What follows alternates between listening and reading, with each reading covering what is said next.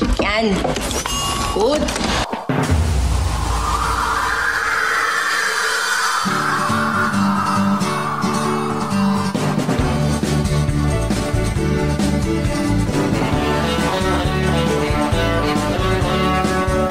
How you doing? Doing pretty good. Still here in the uh, motel room in uh, New Jersey. Uh, Brad's here with me, but Drago is uh, back in Tennessee. Now, you know, uh, for some time now, I've been running an old obscure TV theme song in the intro, but this is going to be the last time I do it. I'm just, I don't know, getting tired of it. I'll come up with something else.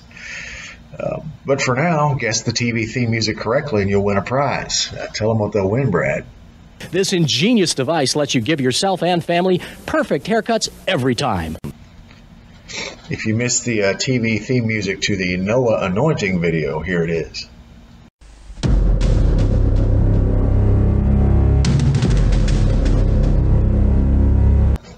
So I recently got my first uh, copyright strike since I uh, since I started the channel back up. I had to go back to a copyright strike to school on the YouTube. Now, uh, as we talked about before, some of these preachers they get upset when you uh, analyze what they say, uh, when you respond to it, when you criticize it, and so they'll invoke some kind of like uh, copyright right to their material. They copyright a sermon. You know, they say it's my sermon. You, you can't uh, you can't do stuff with it, and so uh, they'll file a claim. And YouTube, especially if it's a it's a big name pastor like uh, Stephen Furtick or uh, Joel Osteen or uh, Bethel Church, T.D. Jakes, uh, they, they'll side with them because they have uh, they have the clout, you know. So uh, anyway, so I did this uh, threshing floor video with Uebert Angel and uh, Voddie Baucham on uh, false teachers, and the clip uh, that I found from Uebert Angel, this was this was the whole thing. Somebody had uploaded and just called it uh, Uebert Angel on uh, false teachers, uh, wolves in sheep clothing. It was from his uh, his channel. Um, and so I just, I mean, whatever was there was what I put next to what um, Voddie Baucham was saying. now, Uebert Angel filed a, uh copyright claim, and the video was taken down. But before that, I was able to save it and uh, re-upload it. And I took his uh, his voice and his image and obscured him a little bit, so that, should be past the uh, copyright uh, deal. Uh, but oh, Voddie also uh, he didn't he didn't file a copyright claim for some reason. Yeah, when when you when you watch uh, uh, the video, you'll see why. Because Voddie just preaches the Bible. He's not a false teacher. He's he's not afraid to have his material out there for anybody to examine and criticize. He has nothing to hide, Voddie Baucham. But Uebert Angel has something to hide. Because all I did was take his teaching and put it next to Voddie Baucham. So Uebert Angel does not stand behind his own teaching, bottom line. So anyway, I, I doctored it to where um, it should be past the copyright. And so I re-uploaded it here. This is uh, Uebert Angel um, and Voddie Baucham versus uh, Matthew uh, 7.15. Now, when you watch it now, bear in mind that Uebert Angel had this video taken down he, he didn't want his material, his sermon put next to Voddie Baucham's for some reason. Uh, maybe you'll figure out why. So anyway, this is the uh, this is the redo of the uh, Uebert Angel versus uh, Matthew seven fifteen video. Uh, God bless. Y'all take care, and uh, hope you uh, learn something from this video. When you hear of this subject, wolves in sheep's clothing, they have made you think it's talking about pastors, preachers, prophets, teachers, apostles behind the pulpit. That's a lie, lie, liar, liar, liar, pens on fire. as we rapidly move toward the culmination of the Sermon on the Mount, we've come, as we looked on last week, to this last section where we see these four comparisons or these four juxtapositions, if you will. We come to this moment where Jesus actually applies the Sermon on the Mount, where he where he he brings his message to a, a conclusion in a very pointed way, basically calling for a response from his hearers. And in the first of those four segments we saw on last week, he calls his hearers to recognize these two roads, that there are two entrances. There is the broad gate and the narrow gate. There are two paths. There is the easy path and the difficult path. There are two crowds, the many and the few, and there are two destinations. One leads to life, the other leads to destruction.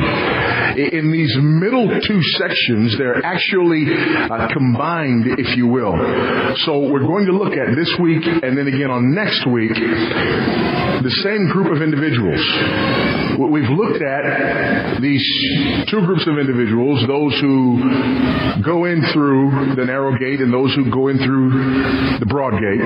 We've looked at those who basically, in one sense, hear the Sermon on the Mount, believe the Sermon on the Mount, apply the Sermon on the Mount are converted by this message that they hear from Jesus and those on the other end who choose another route whether that route is something as far away from Christ as imaginable or whether that route is something that is as close to the route that Christ prescribes as possible without actually coming to repentance and faith. And here we see that there's another obstacle along the way. And that obstacle along the way is false prophets. We'll see them in the next two paragraphs. False prophets. Today we look at the false prophets and Jesus' illustration of the trees and the fruit beginning at verse 15. If you'll join me there. Matthew chapter 7 verses 15 through 20. He says, Beware of false prophets who come to you in sheep's clothing, but inwardly are ravenous wolves. You will recognize them by their fruits. Are grapes gathered from thorn bushes or figs from thistles? So every healthy tree bears good fruit, but the diseased tree bears bad fruit. A healthy tree cannot bear bad fruit, nor can a diseased tree bear good fruit. Every tree that does not bear good fruit fruit is cut down and thrown into the fire. Thus you will recognize them by their fruit. It's not it. It's not it. Look at the scriptures clearly. Verse number 15. Beware of false prophets. The word false prophets is the word pseudo prophets. Okay. It does not mean prophet. It just means somebody. Let me let me just read it so that you understand what it says here. And so that people can understand. Pretend foreteller. What's this? Or religious impostor. And uh, somebody who utters falsehoods under the name of divine prophecies. It doesn't mean a prophet. It doesn't mean behind a pulpit. Now, before we even begin, let me say that we are allergic to the kind of teaching that Jesus puts forth here in this passage. Our culture has rendered us allergic to this kind of teaching that Jesus puts forth in this passage. We'll talk more about our allergy as we continue on here. But it makes us very uncomfortable when we talk about this issue because Jesus identifies the fact that there are first and foremost false prophets. There are false prophets. There are people who are out there who are false prophets. There are those who speak the truth and there are those who tell lies. There are false prophets. Listen to D.A. Carson as he puts a finer point on it. Warnings against false prophets are necessary or are necessarily based on the conviction that not all prophets are true. That truth can be violated and that the gospel's enemies usually conceal their hostility and try to pass themselves off as fellow believers. Now, I want to prove to you that it doesn't mean behind the pulpit. Watch this now. Beware of false prophets, which come to you in sheep's clothing. Uh-huh. Preachers, apostles, prophets, pastors, teachers, evangelists are not called sheep in the Bible, they're called shepherds. There are false prophets. This is not new, by the way. Listen to this, just a few passages of scripture. Matthew chapter 24 and verse 11. We read, For false Christs and false prophets will arise and perform great signs and wonders so as to lead astray, if possible, even the elect. Matthew chapter 24 and verse 24. For false Christs and false prophets will arise and perform great signs. Uh, uh, I'm sorry, Matthew 24:11, Many false prophets will arise and lead many astray. What I read to you the first time was Matthew 24, 24. Mark 13:22 is a retelling of this teaching of Christ. And then Luke chapter 6 and verse 26 reads this way. Woe to you when all people speak well of you. For so their fathers did to the false prophets. Acts chapter 13 and verse 6. When they had gone through the whole island as far as Paphos, they came upon a certain magician, a Jewish false prophet named Bar Jesus. And in 2 Peter chapter 2 and verse 1 we read but false prophets also arose among the people, just as there will be false teachers among you, who will secretly bring in destructive heresies, even denying the master who bought them, bringing upon themselves swift destruction. So again, this is not an isolated incident here in the Sermon on the Mount. Jesus bring this, brings this up a number of times in his ministry, and we also have this in the Acts of the Apostles and in the epistles the idea that there are false prophets. We have to be aware of this fact. There are false prophets. So the Bible should say, beware of what? Of false prophets who come to you hey, in shepherd's clothing. It says in sheep, in congregation's clothing. They are in the congregation. They are not behind the pulpit.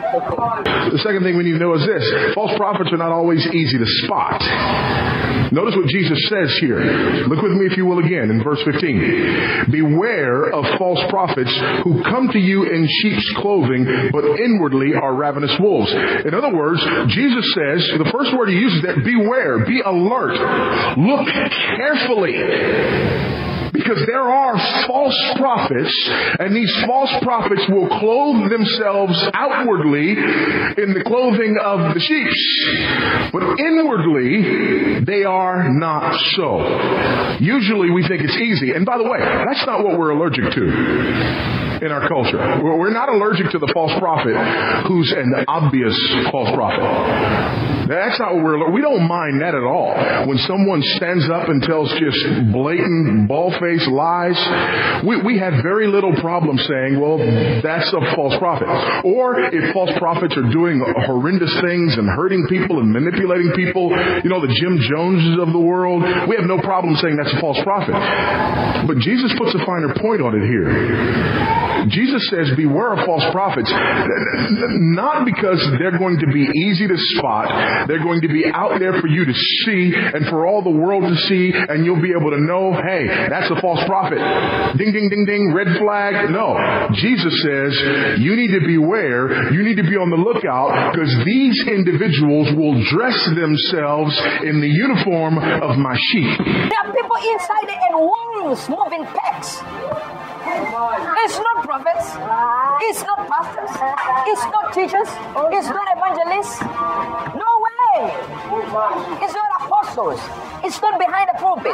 It's congregants, toxic congregants in the church that pretend to tell others, God said to me, God said to me. False prophet does not mean a pulpit. They will hide who they truly are. They will learn to use narrow gate language. They will learn to emulate hard road living. They will learn to masquerade as small crowd people. And they will learn to trick you into thinking that they are on the road that leads to life. And yet, they are false prophets. Here's why it's difficult for us to identify false prophets. Number one, because of biblical and theological illiteracy. You've been lied to. And the devil is smiling. Because the devil understands one principle. Hit the shepherd and the sheep was scattered. That's his principle. That makes it difficult to identify false prophets. If we don't know the Bible, if we don't know doctrine, if we don't know theology, it is virtually impossible for us to identify false prophets. That's also, by the way, why we're allergic to those who identify false prophets. We're allergic to it. We really are. We don't like it. It makes us uncomfortable. Somebody's identifying an individual as a false prophet and we just kind of go, well, no, that person's not a false prophet because they actually stand up and they use Bible verses. And of course, if it was a false prophet, they would stand up and use what the, Bhagavad Gita? Do you think? It's in the Word, so he knows every word that is spoken in the Bible. He can twist it so that it can hit the shepherd and the ship will resign. You think that would be a successful false prophet if he stood up and didn't use Bible verses? No. Of course they use Bible verses. Of course they use narrow gate language. Of course they do. And what they do is prey on individuals who are biblically and theologically illiterate. Here it is in verse number 10 of Matthew 24. And then shall men be offended and shall betray one another and shall hate one another. I want you to understand what it says. What is it talking about? It's talking about many. Say many. many. It's many shall be offended. Watch this now. Watch this. And many shall be offended. Yeah. They're offended and shall betray one another. The word offended there, if you didn't understand it, it is the word scandalizo, where we get the word scandalo and scandalous. Secondly, it's difficult because of the prevalence of ecumenism and syncretism. As a friend of mine calls it, Rodney King theology. Can't we all just get along? The answer is a resounding no. So, so men shall be in a scandalous thing, you know. Uh, but but watch this, watch this. The word scandalizo is is a is a trip, you know, the trip you put for rats. Where it is standing like this and the rat comes in to try and eat maybe a peanut or peanut butter you put on something and it crushes trips the rat. But that's not the scandalism. The thing that was the bait is the scandalism. So he says, and men shall be scandalism, shall hold the bait. But the problem with the scandalism is this when the rat is trapped, the scandalism is trapped. We cannot. What do light and darkness have to do with one another?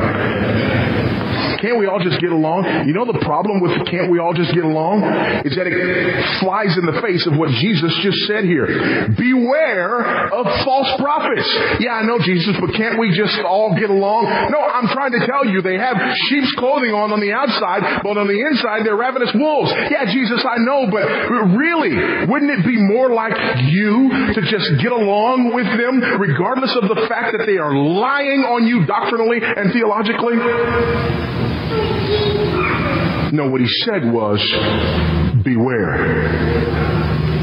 Not go along and get along. He said, beware. But we're allergic to that. Why? Because of this false and dangerous notion that somehow drawing a line in the sand and saying this is true and that is not is somehow unchristian. Because remember the new John 3:16. Remember the old John 3:16 is actually John 3:16. The new John 3:16 is Matthew 7:1. Used to be that everybody knew the old John 3:16. You put John 3:16 up and everybody goes, "Yeah, I know what that is." You know, now you put John 3:16 up and people go, "What is what is what is what what is that?" Of course, they don't know the verse, Matthew 7:1. They don't know, you know, if you put that number up, they would have no idea. But if you just started it, judge not lest you they could finish it lest you be judged. Never seen a Bible a day in their life. But if you start Matthew 7:1, trust me, they will finish it. Now they didn't get it. They didn't get it. They didn't get it. In other words, when you are offended, you are trapped yourself, and the person you offend, who offended you, is also trapped. Yeah. You didn't get that. You didn't get that. So I'm, I'm about to show you something. I'm about to show you something. Here's what's interesting. Matthew 7 1, i- i- if you just use a little logic here, comes just before what we're reading now. You, you, you, you figure that out? We're in Matthew 7:15, which means Matthew 7 1 just came a very short 14 verses earlier. And those who would manipulate Matthew 7 1 would have you believe this that basically Jesus said in Matthew 7 1 that you should not judge under any circumstances. Therefore, when we read Matthew 7:15, we have to understand it in the context of not ever judging. Beware, but don't judge.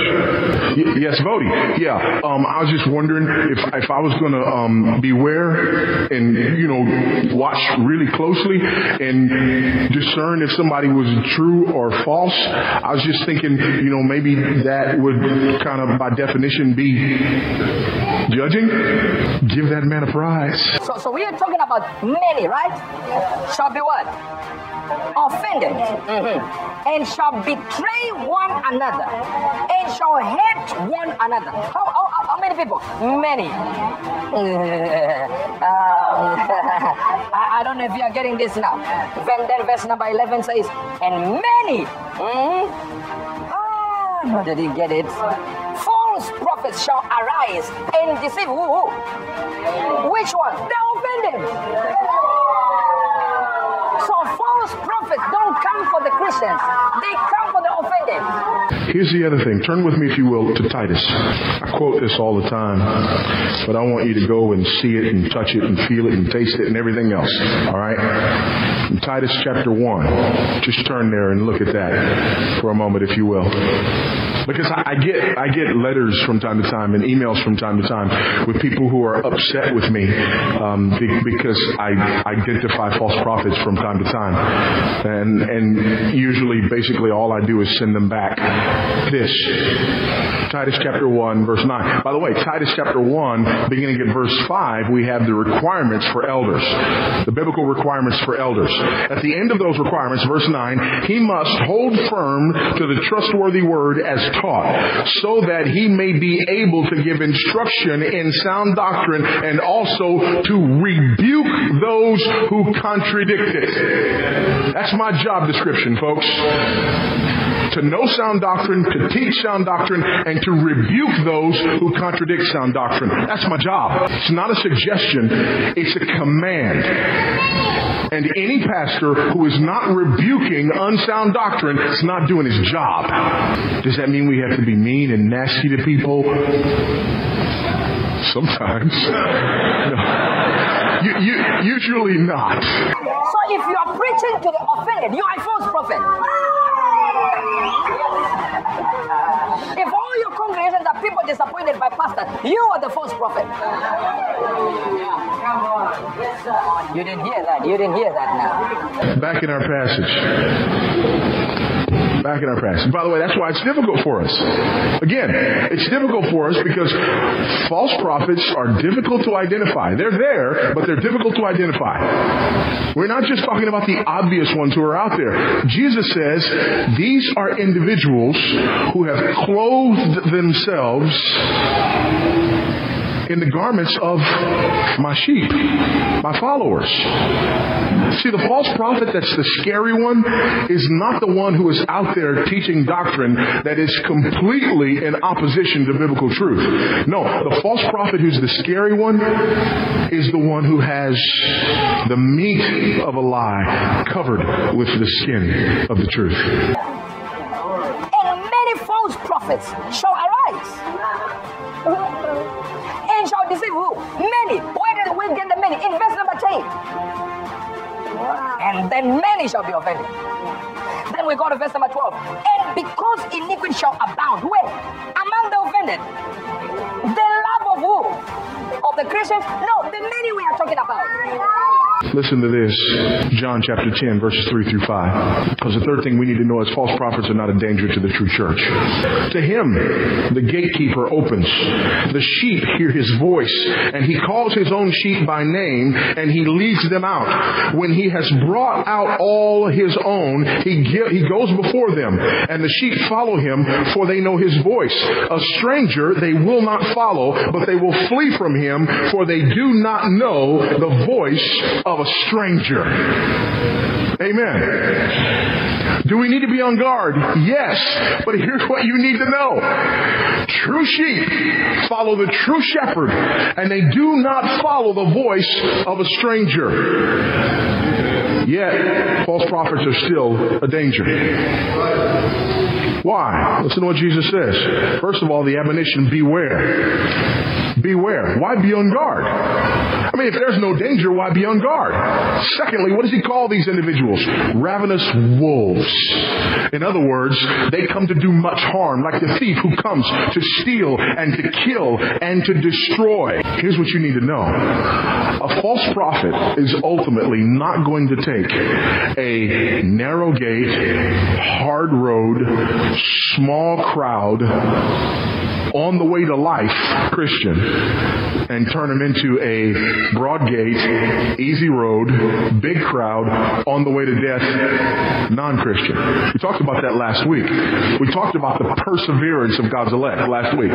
So that's not the danger. But here's what you need to know. A believer can have his or her life turned upside down by a false prophet. They're offended. You didn't get this, you didn't get this.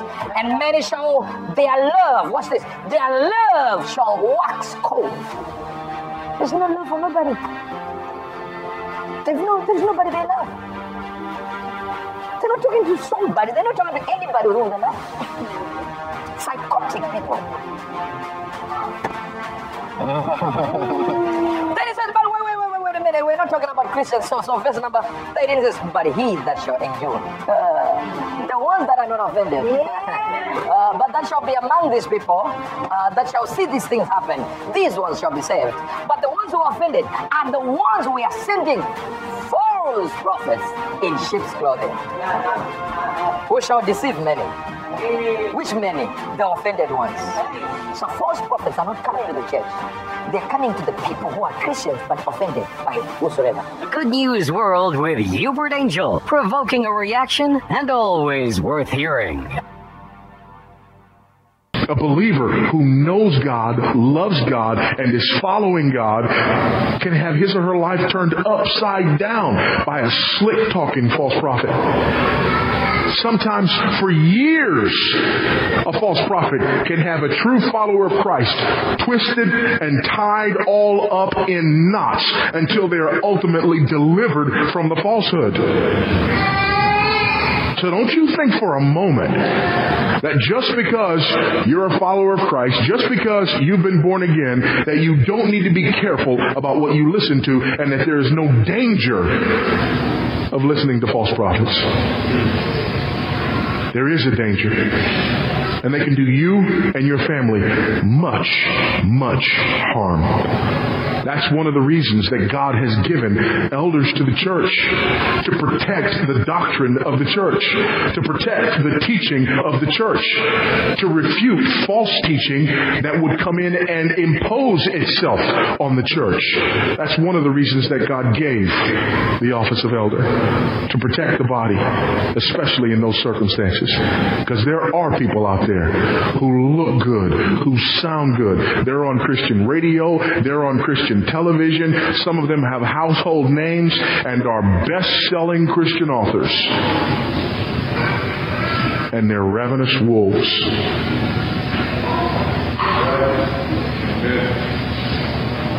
What do they do? False prophets bear bad fruit. And they bear bad fruit in two main ways. Bad teaching, bad living bad teaching, bad living. Look at what Jesus says again. You will recognize them by their fruits. Outwardly, they may look really good, but you need to become a pretty good fruit inspector. You will know them by their fruit. Are grapes gathered from thorn bushes or figs from thistles? So every healthy tree bears good fruit, but diseased trees bear bad fruit. A healthy tree cannot bear bad fruit, nor can a diseased tree bear good fruit. It can't happen that way. What do you do? Examine the fruit.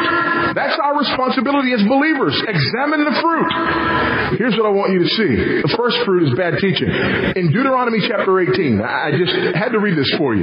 Listen to this in Deuteronomy chapter 18, 20 through 22. But the prophet who presumes to speak a word in my name that I have not commanded him to speak, or who speaks in the name of other gods, that same prophet shall die. And if you say in your heart, how may we know the word that the Lord has not spoken? By the way, as New Testament believers, we have an advantage over those to whom Moses was speaking. The advantage that we have is we have God's word word. So God, who in times past spoke to the prophets and the fathers in many portions and in many ways, in these last days has spoken to us in his son through whom he made the world. So understand this. So we're reading here in Deuteronomy individuals who did not have a completed canon. We, however, do have a completed canon. So we have a different set of criteria. So as I read this, and I'll explain that more in a moment, but listen to this. How, how do we know know? How are you going to know that this person hasn't spoken from me? When a prophet speaks in the name of the Lord, if the word does not come to pass or come true, that is a word that the Lord has not spoken. The prophet has spoken presumptuously. You need not fear him. Does what he say come to pass? That's the test Moses gives the people of Israel. Moses says, hey, if you're wondering whether someone is a false prophet or not, it's very easy. You just ask yourself this question. Did what they said was going to come to pass actually come to pass? But remember, I just told you, according to Hebrews chapter 1 verses 1 and 2, that's no longer our test. Our test is, does what he said come from and line up with the Bible? Amen. See, our Bibles are bound in leather, not three ring binders, folks. And that's for a reason. We are not in the process of getting continued revelation from God. So the first sign of a false prophet is he speaks things as though they are from God, but they're not found in God's word. He speaks things as though they are from God, but they are not found in God's Word. We've talked about this before, but I have to take a moment to do it again. I beseech you. I've begged you before from this very spot, but I'm going to beg you again from this very spot to be very careful and to stop using language like God said, God told me, and God spoke to me. Don't talk like that. That's heretical language, people. Because when you use words like said, spoke, and told, you are referring to audible speech and you are equating whatever comes after that with what we have in the Word of God. And that's heresy. Now, what we usually mean is God enlightened me, God brought something to my understanding, God impressed upon me. You, use those words all you want, but do not say, God said, God told me, or God spoke to me, because if you do, you are out of line theologically. That is unbiblical speech because God does not say, God does not speak, God does not tell in those terms anymore. Not because I say so, but because the Bible says so. We have a closed canon. So one of the ways that you know that someone is potentially a ravenous wolf, again, there are individuals who just speak these kind of things and they don't mean it. It just sort of comes out because we're so used to hearing it in our culture and we'll say things like God told me this, God said that, God spoke this and we'll say it and that's not what we mean. That's not what I'm talking about. That's somebody who just needs to be corrected. And you and I both, all of us in this room are more than likely guilty of having been loose with our speech in that way before. We did not mean, I am speaking to you with the same authority as Moses or Paul or Jesus. That's not what we meant. We were just loose with our speech. We adopted a bad habit from our culture, and that's not what we meant. But there are individuals in our culture who say those things and mean them. They're false prophets. They're false prophets. According to Hebrews chapter 1, verses 1 and 2, they are false prophets. That just sounds so judgmental. Welcome to the narrow gate.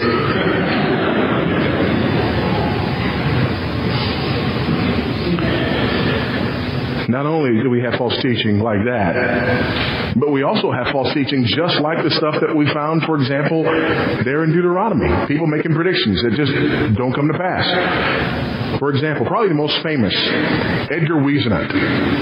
Anybody know that name, Edgar Whisenant? If you know that name, you probably know that name because of one of the most notorious Christian books ever published. 88 Reasons That the Rapture Will Come in 1988. Anybody familiar with that title? It was a bestseller, sold over a million copies.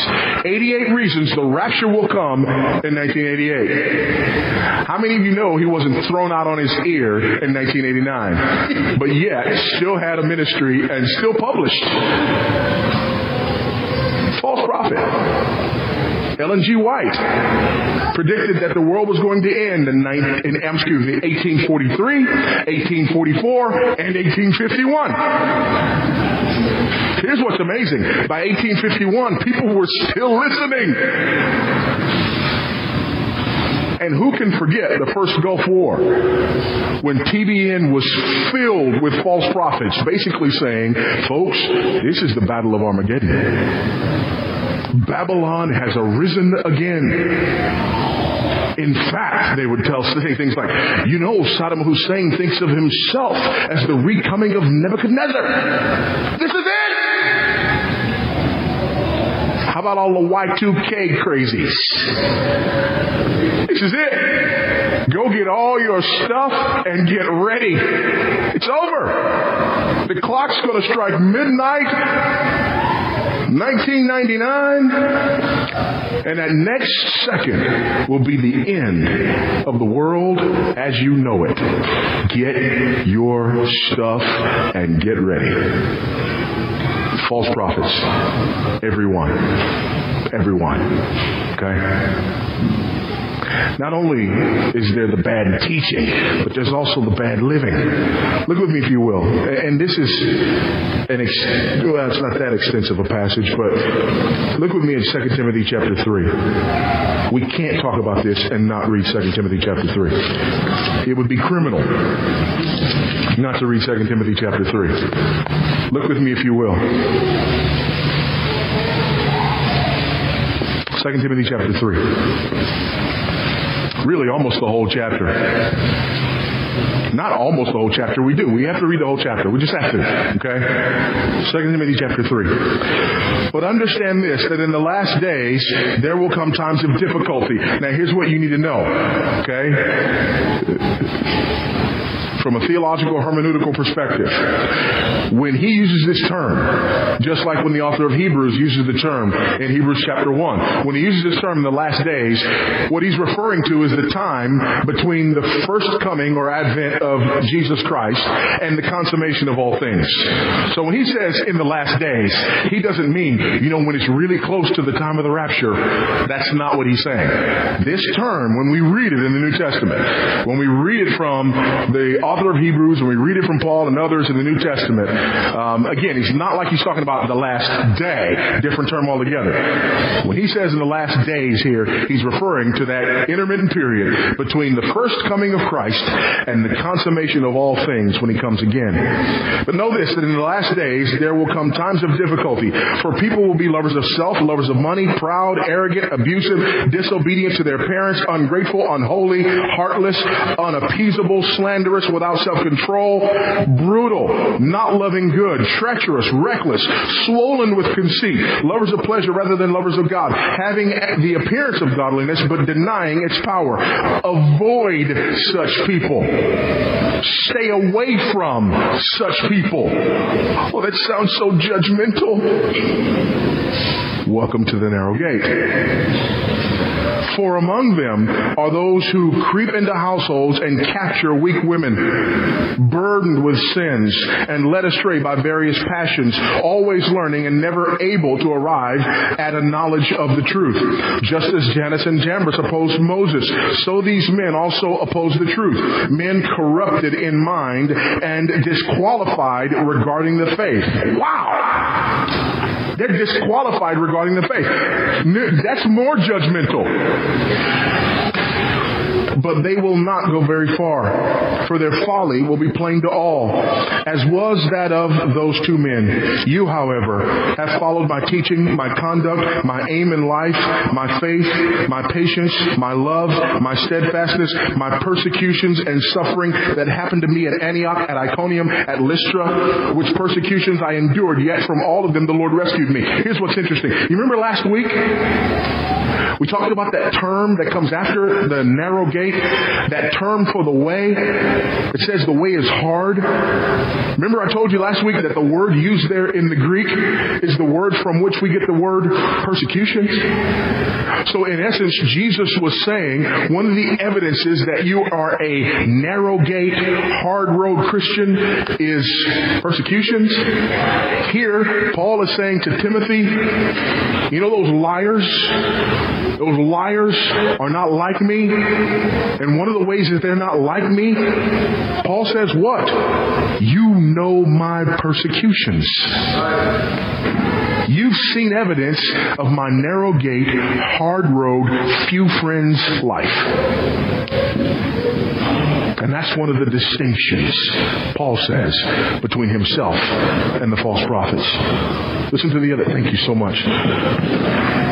Listen to the rest of this. Indeed, verse 12, all who desire to live godly life in Christ Jesus will be persecuted. Not might, not could, but will while evil people and impostors will go from bad to worse, deceiving and being deceived. But as for you, continue in what you have learned and have firmly believed, knowing from whom you've learned it, and how from childhood you have been acquainted with the sacred writings which are able to make you wise for salvation through faith in Jesus Christ. All scripture is breathed out by God and profitable for teaching, rebuke, correction, for training in righteousness that the man of God may be competent equipped for every good work.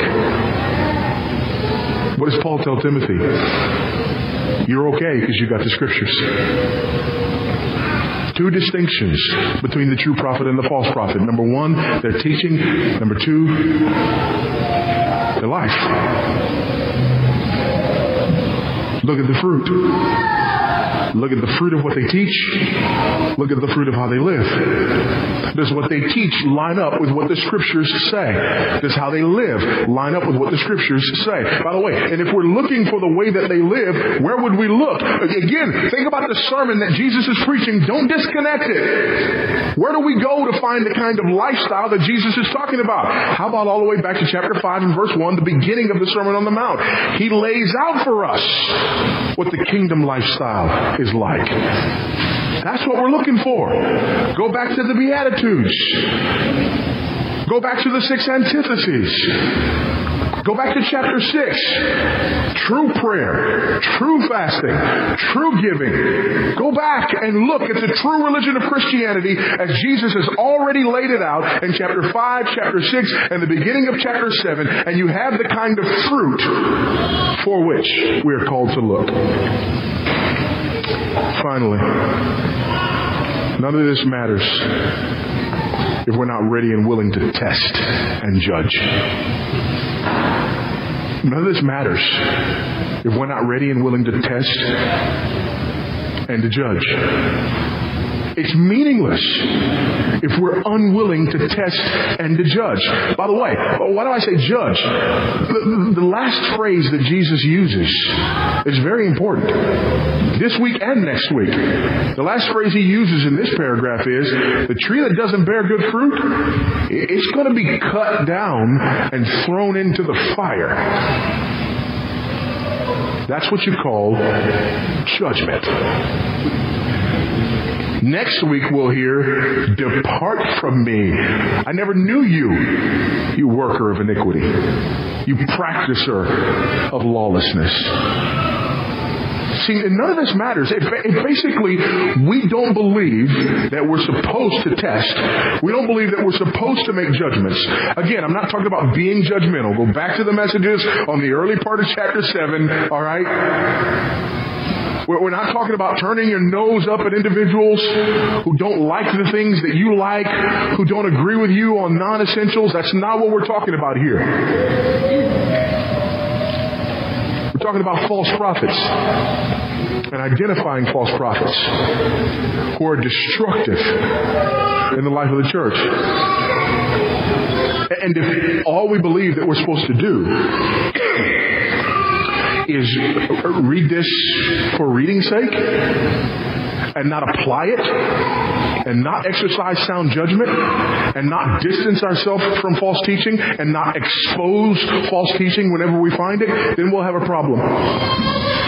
Listen to this if you will. 1 John chapter 4 verses 1 through 3. Beloved, do not believe every spirit, but test the spirits to see whether they are from God. For many false prophets have gone out into the world.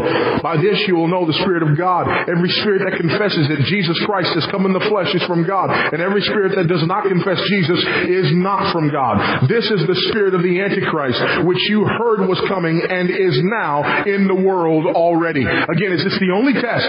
No, it's not the only test. Remember the series we did through 1 John? There are many tests. But here, dealing with false prophets, he says, test what you hear from them. Test the spirits by the spirits. This is judgment, folks. And it's the way Christians are commanded to live. Look with me, if you will, at Acts chapter 17. Verses 10 and 11. The brothers immediately sent Paul and Silas away by night to Berea. And when they arrived, they went into the Jewish synagogue. Now, these Jews were more noble than those in Thessalonica.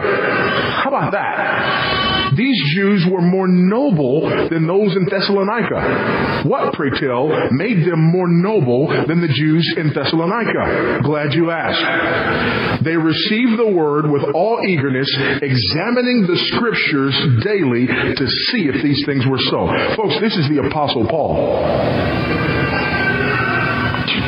Did you follow this?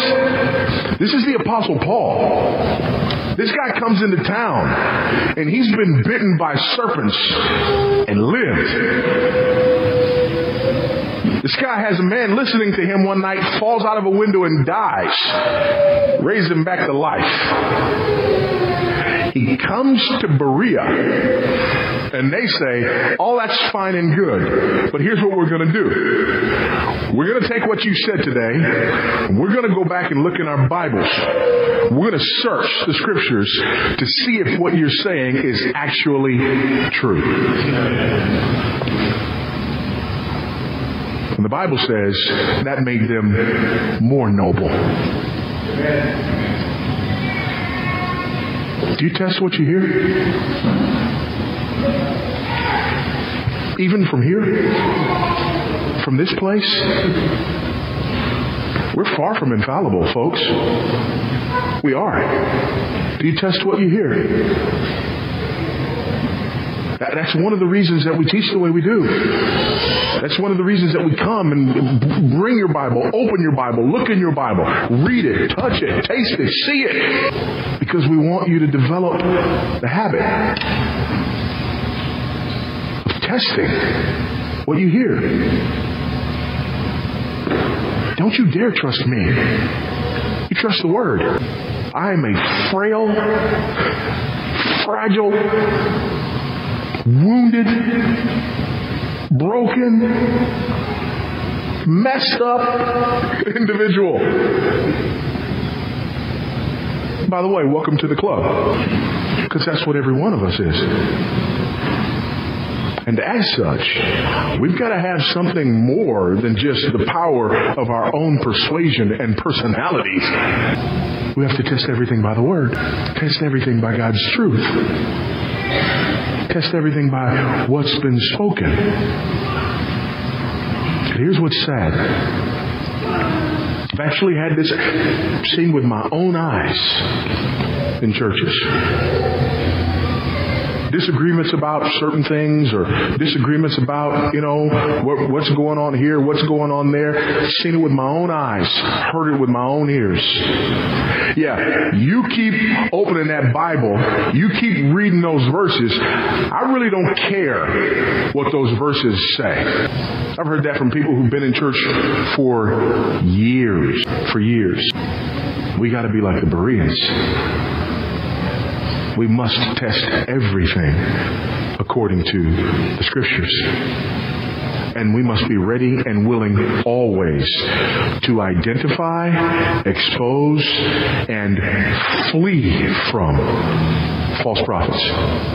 Don't like the way that sounds? Turn with me to one more passage. Look at Ephesians chapter 5 and look beginning in verse 6 of Ephesians chapter 5. Let no one deceive you with empty words, for because of these things the wrath of God comes upon the sons of disobedience. Therefore, do not become partners with them. For at one time you were darkness, but now you are light in the Lord. Walk as children of light, for the fruit of light is found in all that is good and right and true. And try to discern what is pleasing to the Lord.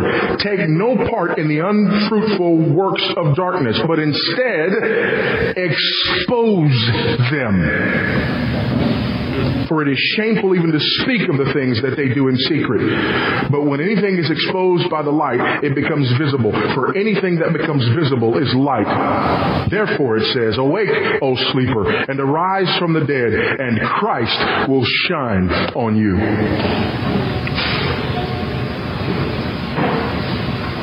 Our culture says, that's mean and nasty, that's judgmental, that's not Christian. The Bible says,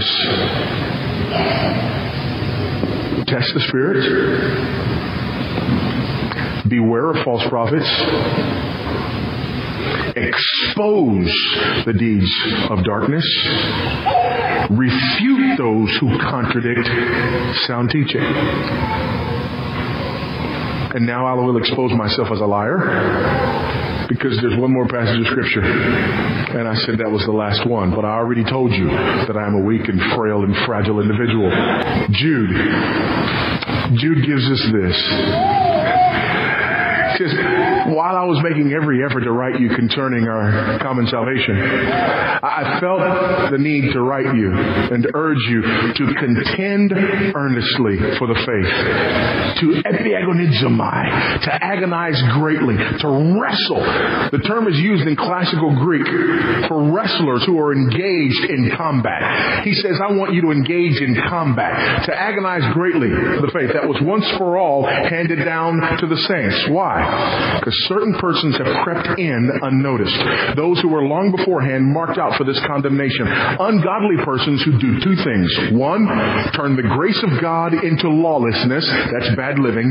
And number two, deny our only master and Lord, Jesus Christ. That's bad teaching. Jude says, agonize greatly against false teachers. War with them those who turn grace into lawlessness and those who deny the essential truths of the gospel. Agonize greatly in that field of combat. Wage war in that field of combat. Refute those who contradict. Expose their dark deeds. Hold firmly to that which is true. Why? Because we delight in the combat? No. Because we delight in the truth. And there is a major difference between between those two. Let us delight in the truth and beware of false prophets.